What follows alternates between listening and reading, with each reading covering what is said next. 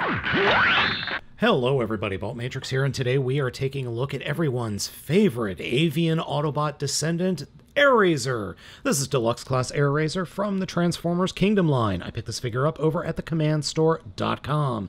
It will be available in any of your favorite retailers any day now. The figure comes in orange, kind of lightish brown, gray, gold, and purple for the face, and I gotta admit, this is the best robot mode that I think Hasbro could have pulled off for a bird.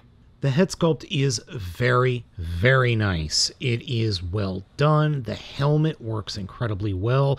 And quite frankly, I don't think we've ever gotten a, as good an Airazor head as what we've got here. And the purple, the green eyes, yeah, it, it's really good and accurately depicts him slash her. I use him, her, because quite frankly, I'm not entirely sure of the gender of the character. In Japan, Airazor was a he. In the US, Airazor is a her. In other territories, it actually changes throughout the seasons because the voice actors come and go. Airazor has a peg hole on the back of its keister, and that allows it to be on a figure stand. And honestly, this is the way I display the figure most of the time. I find just putting this figure on a figure stand and having it fly around is my preferred way of posing it. I also like the fact that you can get a good chunk of posability, or you, the figure has a good chunk of posability, so that you can pull off some of the poses that they had in the show. Yeah, remember this pose from one of the shows where they flew up and just started shooting the blasters from their arms? Now, those blasters are the only accessories that the figure comes with. We'll take a quick look at them up close. They're actually pretty well painted and appear to have weathering thanks to the weird paint. The weapons that Airazor comes with are these cute little blasters. They are very tiny, and my cats have already played with them a little bit. They are molded or modeled in, yeah, molded in the that original gray, grayish, brownish plastic and then painted gold. I like them. I think they're a little bit on the big side for the character, but they do work really well. They ironically work better for figures that are chunkier than Airazor is. As you can see, here's Huffer with them, and they work for Huffer. Actually, they look more like kind of worker implements or engineering implements rather than weapons. The figure has multiple ports to plug things into. There's the hands, obviously, one on each forearm, one on each thigh, and one on the back of each lower leg. And then the bottom of the feet, well, they're just too tiny for anything to peg in or to put a peg hole there. Nothing on the back, unfortunately, but I understand why, because that would royally screw up the look of the bird mode. Airazor's posability is quite good. Head is on a ball joint and can look up and down and wiggle around. Swivel at the upper arm, though the swivel is interrupted by the backpack. Hinge for in and out. Over 90 degree bend at the elbow. Bicep swivel, and then there's an extra bend at the wrist for the transformations. Fists do not swivel, unfortunately. That is a shame. Torso swivel. Hips can kick forward and can kick out and kick kick way out for the transformation. There is no thigh swivel, but there is a swivel just above the knee. Knees bend well over 90 degrees, and there is an actual extra joint for the transformation again, and then ball joints at the feet. The feet ball joint on my figure are far too loose. They do hold the figure up most of the time, but every once in a while, because of the back heaviness of the wings, it just kind of collapses under the weight. Nothing I can't fix myself. When attaching the flight stand or a flight stand, it's best to actually kind of untransform it a bit. Fold the wings forward, flip the tail wing up, and then peg whatever it is the flight stand is going to peg into. Yeah, that made sense. Peg the flight stand in to their keister, and then put the wings back, and then you can just have them, you know, standing in in the sky. And on the flight stand, I prefer to have them doing a zero one style rider kick. Just a personal preference.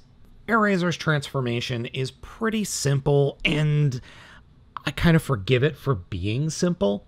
To start off with, we're going to come to the back and unpeg the wings, and then just kind of fold them all the way out like that. Grab the area just behind the head and open it up with the top of the back unpegged. Grab the entire upper torso and hinge it up and like this. And then got to get it all the way up Otherwise, things aren't going to work. Then we can grab the bird head and flip the robot head down into the torso like this and then hinge the back all the way up. You see those little yellow hinges in there? We want them pointing up flush like that. So then we could collapse the back on and peg it in behind the bird head and then leave the tail up just a little bit like this. Now what this does is it gives us a cavity that we can actually peg the arms in, or the fists into. So collapse the fists at the wrists and then just kind of sandwich them in there like this.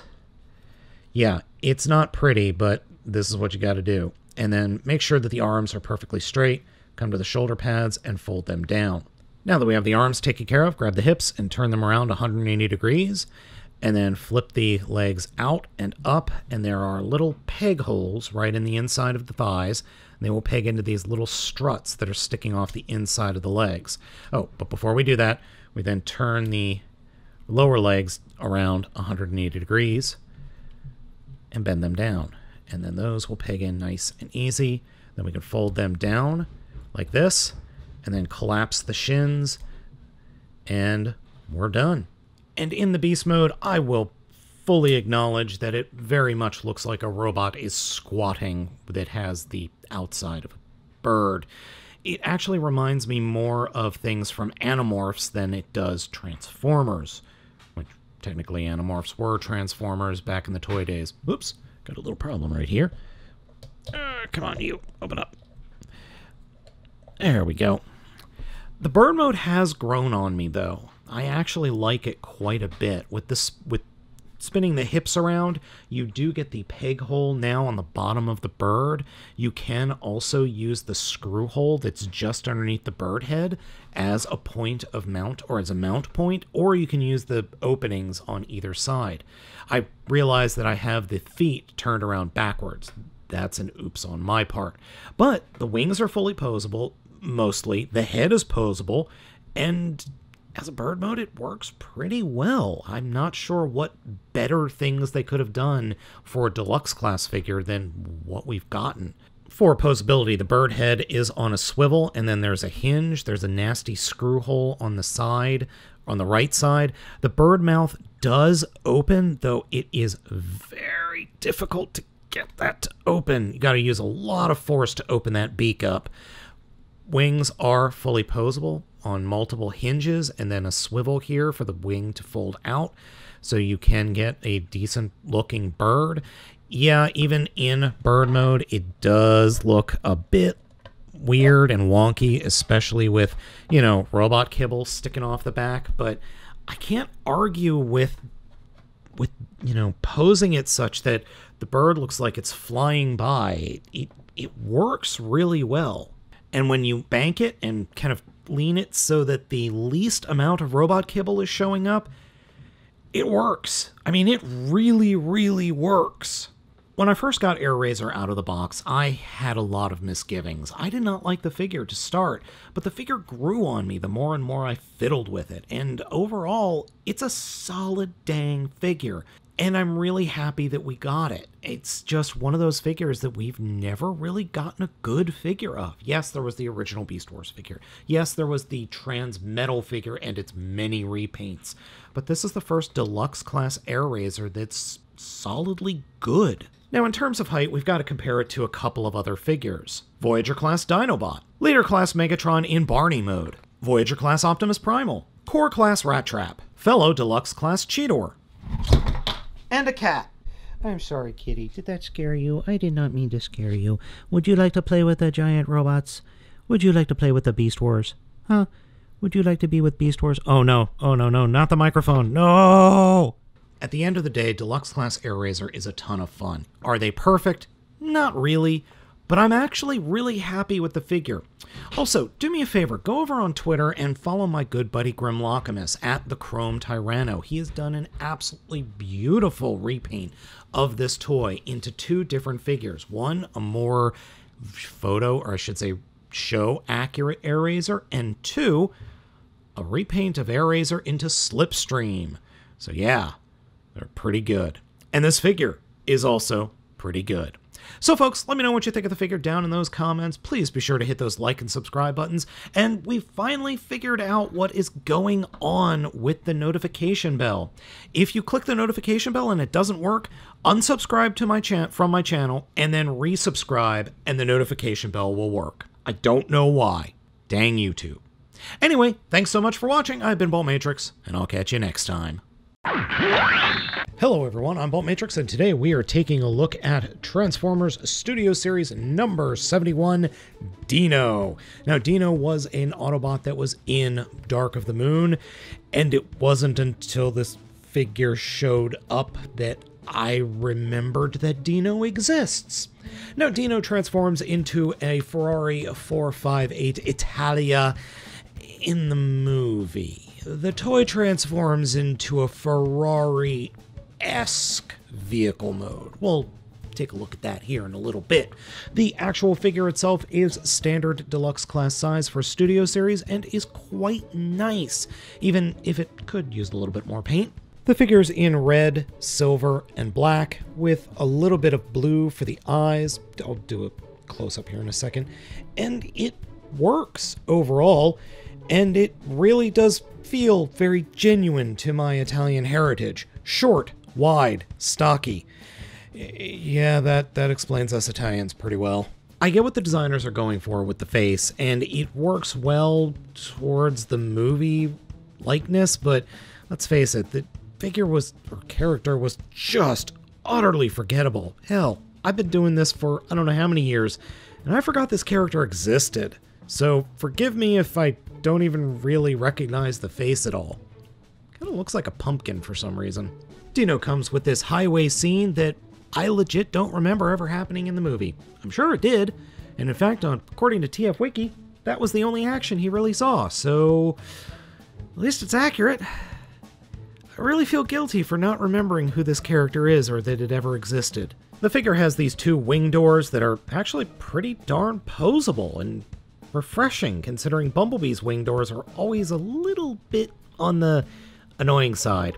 He comes with two different weapons, or I should say two accessories that are the same weapon, and that are these blades that just peg into 5mm ports on the bottom of his forearms. There's nowhere else for them to peg in. It would be funny if you could stick them onto his butt, however, you cannot. There's a stand port between the figure's legs so you can get him to pose a little bit. And speaking of posability, let's start with the bottom first. There is no ankle side to side, but there is forward and back to a point. That's for the transformation.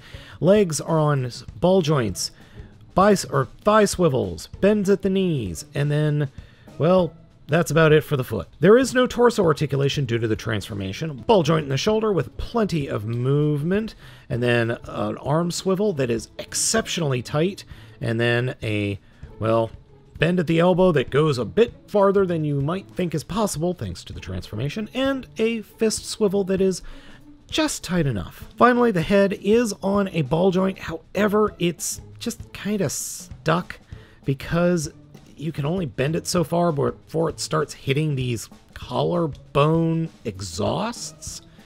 Or are they supposed to be rear view mirror or side view mirrors? I don't know.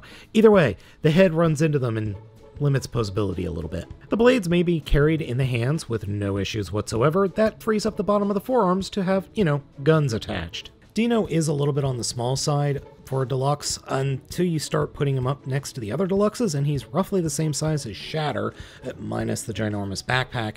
But he is a head smaller than Soundwave, and I do have a Bumblebee around here. I just can't find it. But as you can see, Studio Series Jazz towers over the guy. All right, let's go ahead and get in the transformation. And hold on to your butts, because this is a lot more complicated than I thought it was going to be.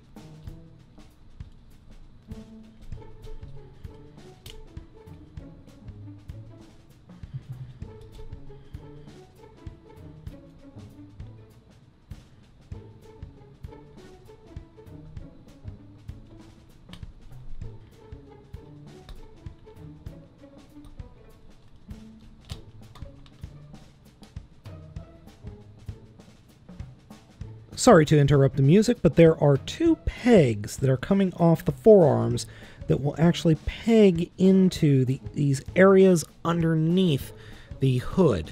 It's A little bit difficult to line up, but once you get it lined up, nothing's moving.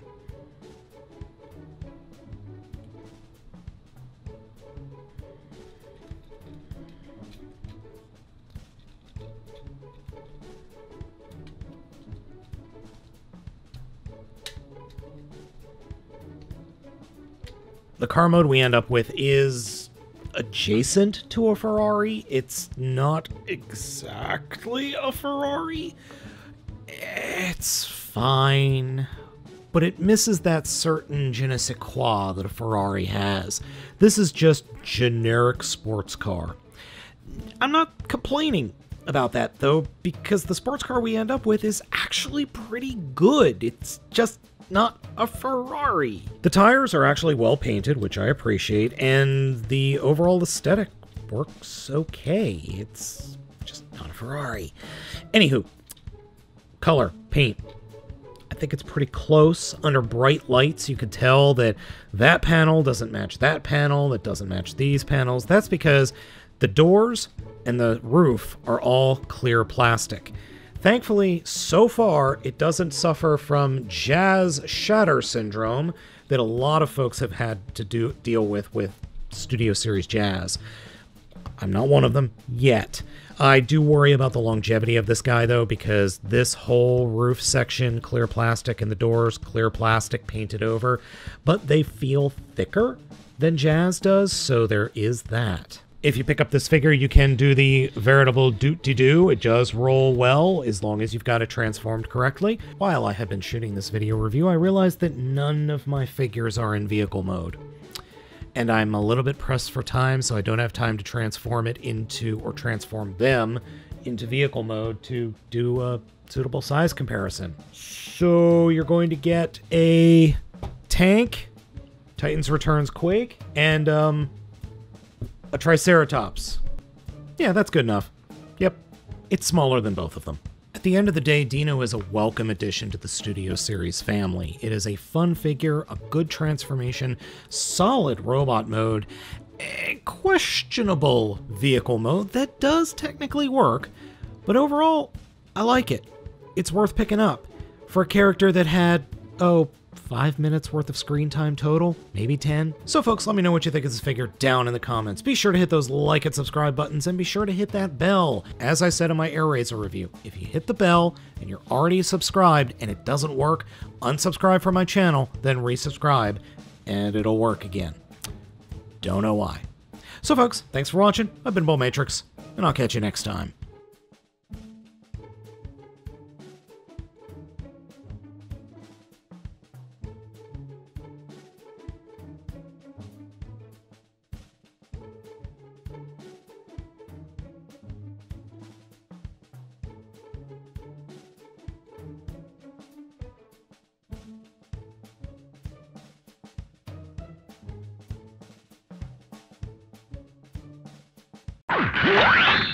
Hello everybody, I'm BaltMatrix, and today we are taking a look at Transformers Studio Series number 72, Starscream from the Bumblebee movie. I, we're going to start this figure off in vehicle mode simply because I think that is more interesting. The robot mode we'll get into in just a moment. The vehicle mode is not how the figure is packaged, it is in fact packaged in robot mode. As you can see, we have the weird Tetrajet form that let's just call it divisive. Yes, we'll call it divisive and leave it at that. Now, the one thing I do have to admit is there's a lot of really cool detail going on here. That nose cone, however, I don't like it. I want it to be filled in. But there's a lot of other nice detailing going on with the mold and the actual figure itself. The protrusion coming off the bottom is a little bit weird. I mean, it's the arms folded up practically. And the fact that the figure has the robot mode's head sticking out the back there is annoying, but overall, it's not bad. It it's really not bad. It looks alien. It obviously is a plane, but not of this Earth, and that's pretty cool. I'm not sure how well this shows up on camera, but there is a molded cockpit in there and what looks to be a seat that is right there, but there's a peg in there that actually holds the canopy on, but you can reach your fingernail in here and kind of lift up the canopy to see that, yeah, there's a whole cockpit molded in there, which is just weird. Another weird oddity is the fact that the entire thing is held up by its weapon. If you unpeg the weapon, it can stand, but it doesn't stand as well. Now, this gun is one of the three accessories that the figure comes with. This is the accessory that comes with Blitzwing. They are not the same. They are molded very similarly, almost identical in look, just not in size. The gun does connect to the vehicle mode via these three tabs, like that, and then we have this thing, which on the side or from an angle, it looks pretty good, but as soon as you look at it straight on, you realize how thin it is. And no, I haven't been able to figure out a better way to attach the rear tail wing so that it doesn't flop around. The wings do have these other accessories that are the guns, and they are very, very loosely on there. As soon as I start touching or moving the figure, the guns have a tendency, the black guns that is on the side, have a tendency to fall off.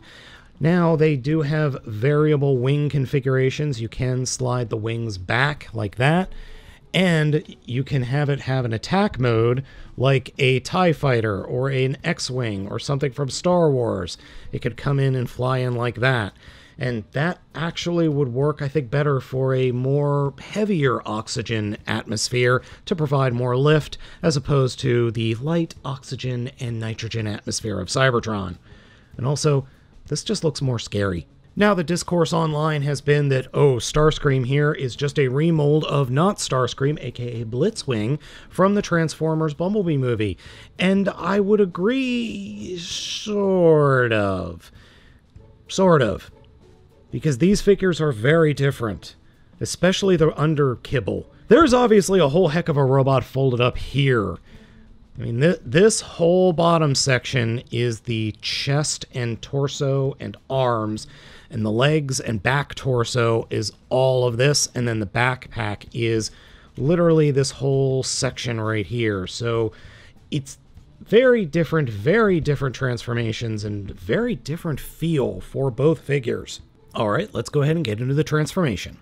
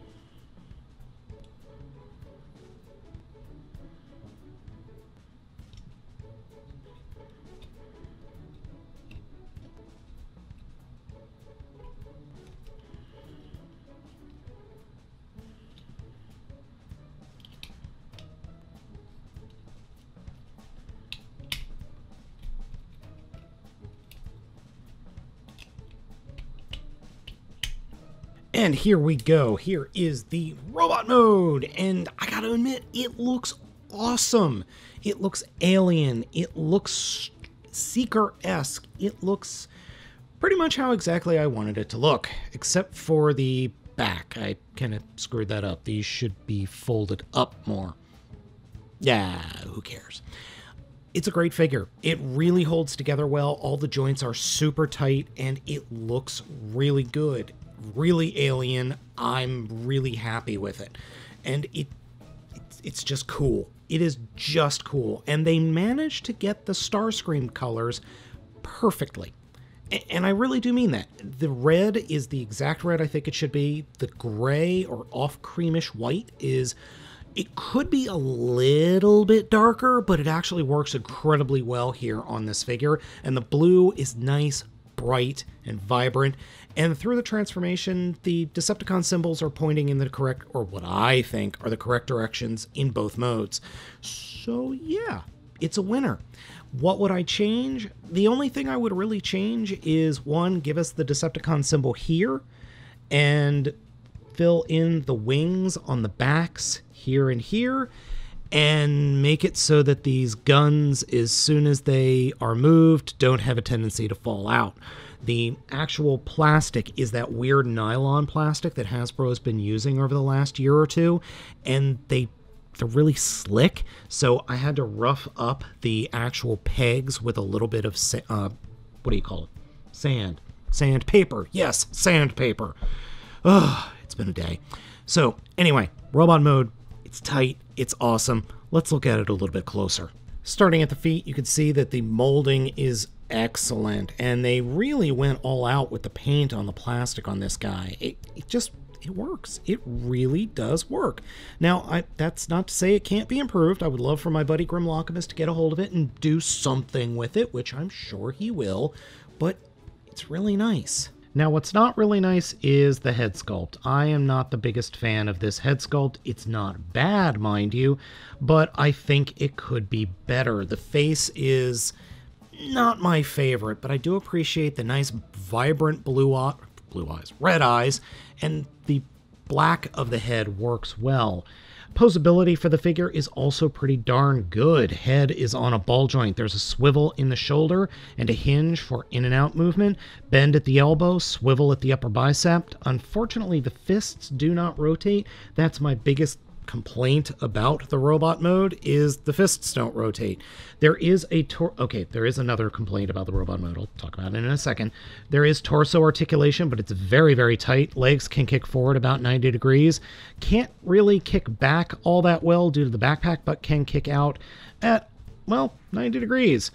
There is a thigh swivel and bend at the elbow. Bend at the elbow, cheese. Bend at the knee is a little over 90 degrees, and then some nice ankle articulation. Wow, that's very flexible. And foot articulation is on a swivel for, yikes, 180 degrees practically? Now, the one thing that I absolutely dislike about this figure is this weird crotch plate. It's right here in the box. It comes, well, transformed such that it's pushing right up against the figure, and the figure can't, hips can't move until you push it all the way out, and then the hips can move. It doesn't need to be there. I don't know why it's there. I think it doesn't add anything to the figure, and I would prefer take it off, or I would prefer it not be there.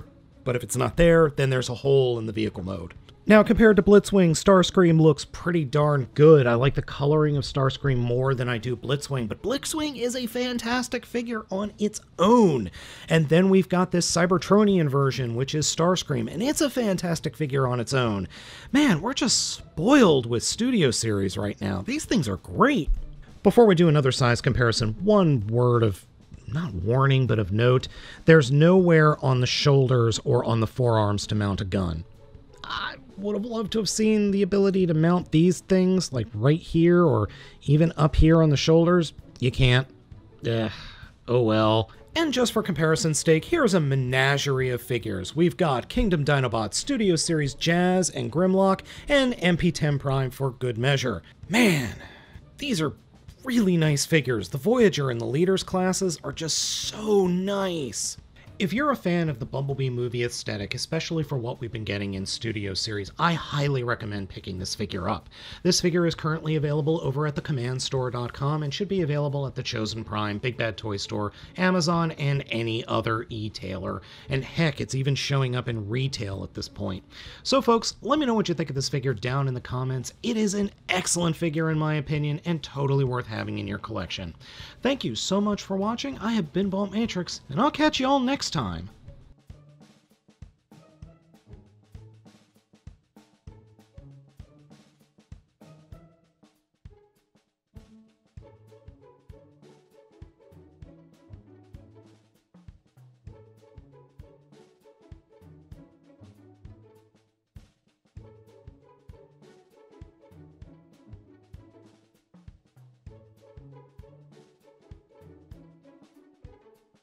Yeah! Studio Series 86 Deluxe Class Jazz is a figure that many fans have been waiting for for a long time.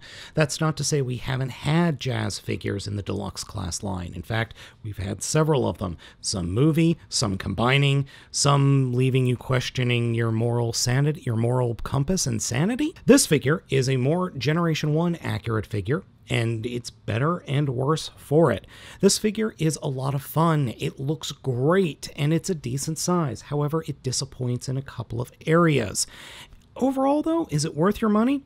Let's find out. Coming in at a smidge smaller than Earthrise Blue Streak and nearly a head shorter than Deluxe Studio Series Kup, it's odd. It is just very, very odd that the figure is this tiny, but I can't deny that it looks fantastic in robot mode. In the terms of painting and molding, Hasbro got everything right here. The coloring is accurate, and the overall aesthetic of the figure is spot on. The head sculpt alone is simply fantastic. The blue visor, the silver faceplate and mouth with the black head, it's perfect. I cannot find fault with the head sculpt or the rest of the look of the robot mode at all. The figure comes with this blaster that looks exactly like his Generation 1 blaster should, and it's pretty show accurate as far as I can tell. Posability for Jazz is also posability ja- for Jazz is Posability for Jazz is also excellent. Head is on a ball joint. There is a set of swivels and hinges in the shoulder. Bicep swivel. Yes, that is the bicep. Unfortunately, no fist articulation, but the elbow does bend a nice 90 degrees. Torso articulation is present with a nice range of motion in the legs. Bend at the knee is 90 degrees, and there is toe articulation for the transformation, and then folding, well, 90 degrees for heels when you pick the figure up to pose it, this is where things start to fall apart a little bit, specifically in the knees. There are these little clips that are supposed to peg in to these openings on the inside of the knees, but they just kind of rest there. They don't actually peg in, and even when you apply pressure and it snaps into place, they just pop right back out, which sucks. Just flat out sucks. But those movable knees do allow you to pull off poses that would otherwise be impossible for a figure who has more static knees. Knee issue aside, I think this is the best jazz we've ever gotten in terms of looks. You can even see the wheels inside of his armpits, and you can, if you so choose, sort of fold out the wings. Okay, that doesn't work all that well. Now, what we've got standing next to Studio Series Jazz is MakeToys' version of the figure, who is far and away my favorite third party jazz figure. As you can see, he's significantly shorter, but the coloring and the actual painting are virtually identical, except for the racing stripes on the sides of the feet and the back. Well, no, the top does have it. It's just the sides of the legs. Now, if you are a sticker fan, I strongly recommend if you pick, decide to pick this figure up, going over to Toyhax and getting a repro label. From what I've seen, especially over at the Lazy Eyebrows channel, those repro label stickers are phenomenal and they work really well and they make the figure look so much better, especially in robot mode. Now, a word of warning to folks that have issues with, you know, hollow bits forearms are hollow, and the inside of the legs are hollow, and the back of the legs are hollow, and his insides are hollow. But I totally forgive this and the thighs because who cares? Now, a major, major problem with this figure that is seeing a ton of breakage is the entire backpack here. This encompasses the entire roof, the rear the side windows, the front windscreen, and the rear of the car and the doors. So, what's the problem? Well, it's all clear plastic that is oh, the the sounds that this thing makes when you transform it like I just did right there, the creaks and the cracks and the crunch that you hear from moving plastic around, specifically clear plastic is very worrying, and I doubt this is going to stand the test of time. It sucks that they had to use clear plastic, but from multiple people that seem to work at Hasbro, from what I've seen, there was only so much room in the mold and there was only so much budget they had to work with for Jazz. So, yeah, yeah, it sucks, but what am I going to do? I mean, seriously, what am I going to do? Is a third party going to come out and 3D print a better top? I doubt it.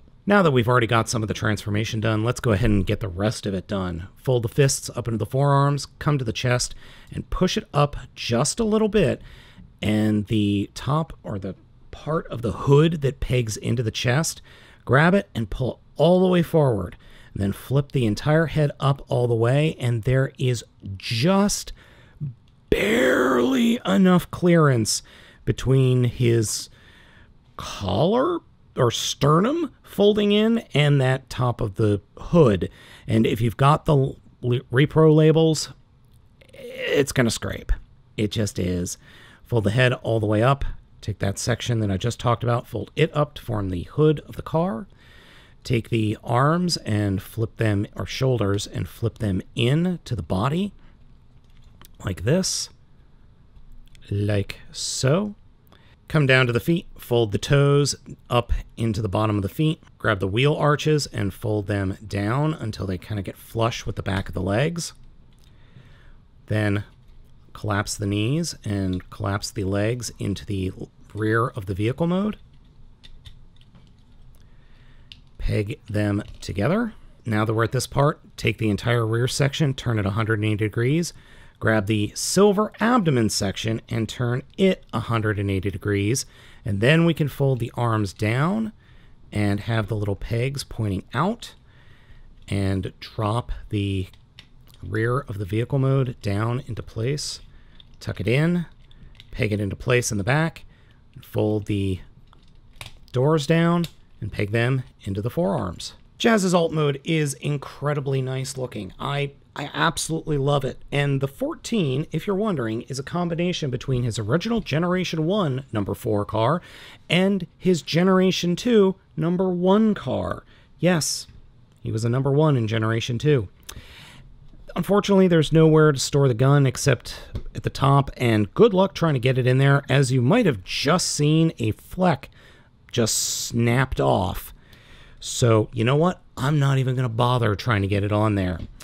Now, this Porsche mode, even though I do really like it, is a little bit odd. It is not his original Generation 1 Porsche, Porsche mode completely. It's like the combination or the weird bugger combination of three different Porsche vehicles, all, all racing, all racing cars, but the rear wheel arches in the back are from one Porsche from like the late 80s, early 90s. The front is from an early 90 or early 80s Porsche. And this, it's just weird. Oh, and the feet, that's from a mid 90s Porsche car, roughly. Roughly. The feet sticking off the back is weird. I'm not going to lie about that. But overall, it's fine. In terms of size in the vehicle mode, it feels like Jazz is small, but it's actually not. As you could see, here's Blurr from Studio Series and Quake from Titans Returns, all roughly the same size. I like Studio Series Jazz a lot, but I feel like I'm treading on very thin ice with the figure, simply because of the issues that I've seen online with the entirety of the roof. I'm not going to lie, that it's got me scared. It really does. Uh, I'm just babying it whenever I transform it, whenever I fiddle with it. I just am very, very, very careful with it.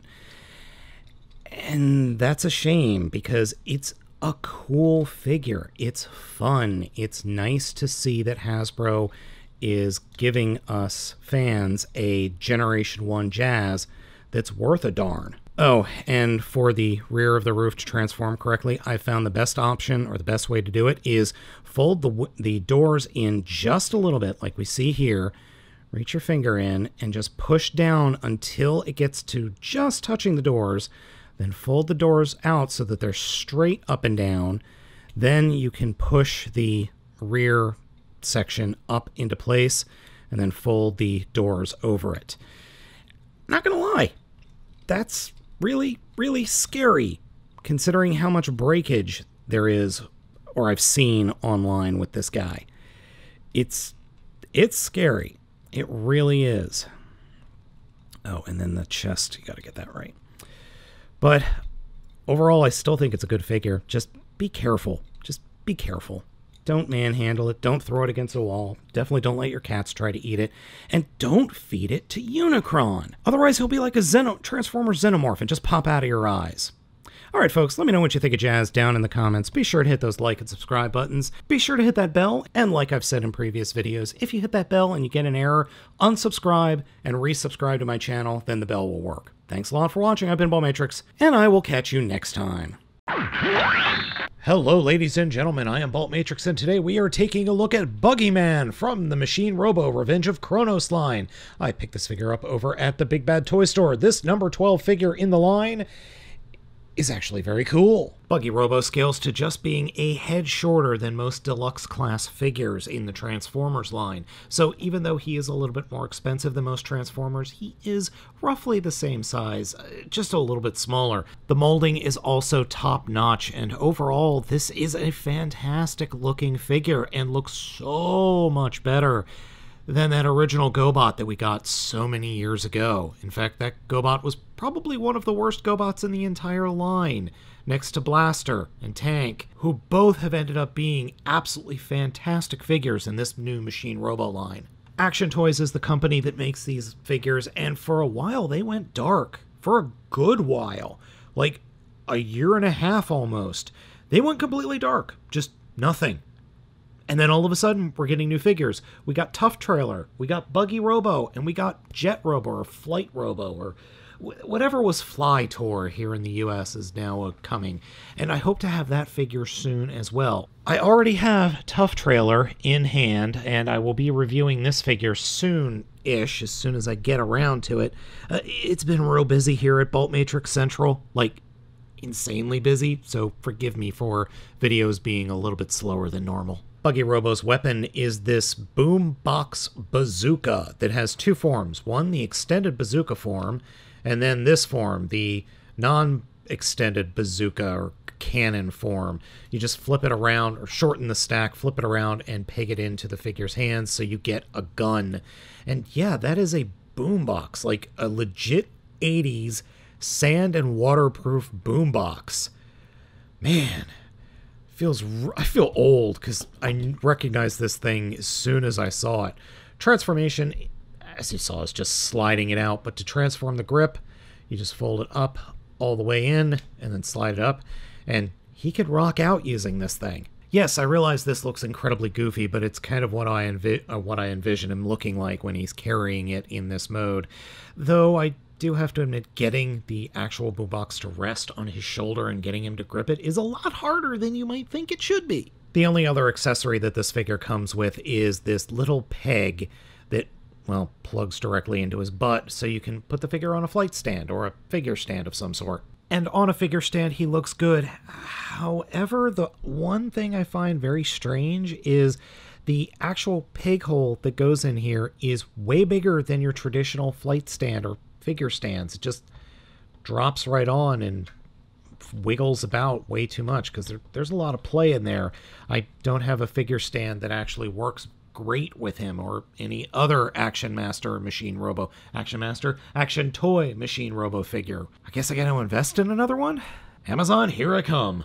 In terms of posability, this figure is chock full of posable joints. Head is on a ball joint, but getting the head to move is a little bit difficult. You really have to kind of push on it because there's a lot of friction in that ball joint, but all the other ones are fine. Ball joint in the shoulder and then an extra hinge. Then you've got a swivel joint just above the elbow, elbow, and a ball joint for the fists. Unfortunately, the forearms are hollow. That ah, what are you going to do? Torso articulation. Unfortunately, no ab crunch. Would have liked to have seen an ab crunch. Ball joint in the hip for lots of posability. Swivel at the thigh ratchet bend at the knee, and then a ball joint at the toe slash foot. But you have to be careful because if you pose the toe wrong, you're just going to unpeg the shin. And trust me, these shins do not want to stay pegged in. They they do peg in fairly okay, but as soon as you go to move things around, they come unpegged. That's the only real complaint of the figure that I have. Okay, if you really must know, there is one other flaw that I have with the figure, and I'm not sure how to fix it if you can. He doesn't have any heels. Like, look at that. That is his heel right here. It doesn't extend back farther. So if you've got him even like slightly off kilter, he's just going to drop. Buggy Robo's transformation or conversion is very easy, but the hardest part is with the head. You have to turn the head around 180 degrees like this.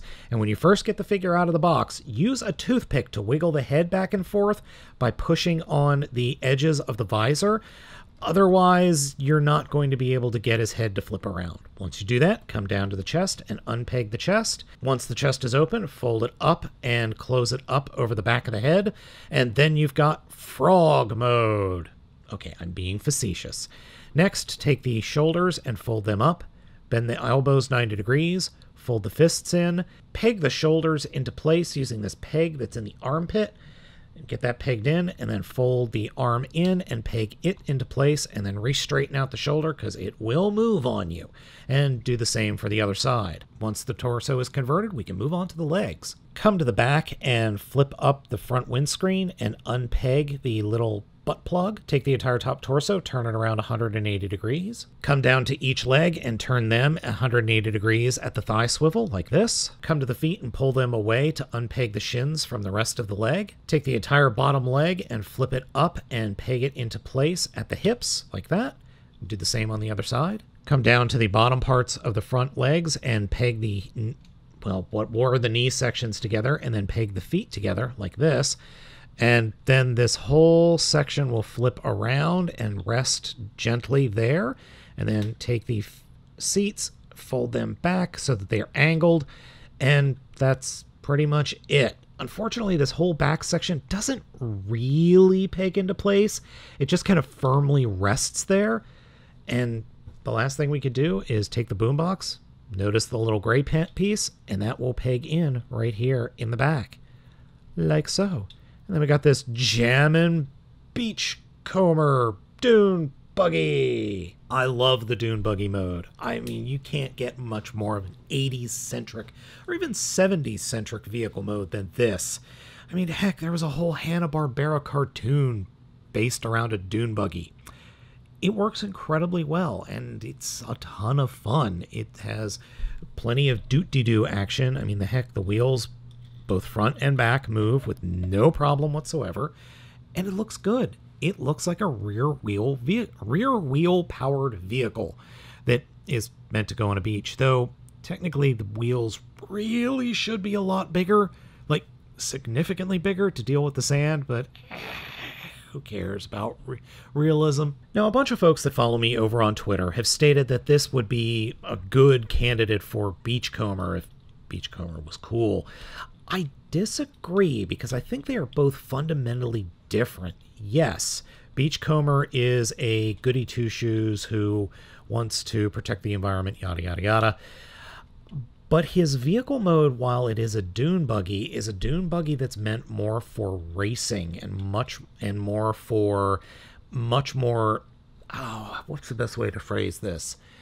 It it's got a roll bar. It's much more intended to be something that's for racing or just something that's intended for a little bit more difficult terrain than what buggy here is meant for. This guy is whoops, popped his arm off. This guy's vehicle mode is meant for the sorry if you hear music in the background, that is my washer and dryer going. This guy's vehicle mode is not meant for very super tough sandy beaches. This one's much more meant for the Florida beaches or the much more sand impacted beaches that you would find that a lot of beach bums like to go to or more commercial beaches as opposed to say like a private beach or a much more sandy not sandy much looser sand that beachcombers alt mode would allow him to traverse this one is more for it's much more more roadworthy or meant for more roads or a lot less tough environments. Anywho, I still think this is a good figure. I like it a lot. I would love to get a beachcomber that's roughly the same size and same intri- intricateness of the figure. I don't know how big the FansToys version is, but I'm thinking of getting it because I really like dune buggies for some reason.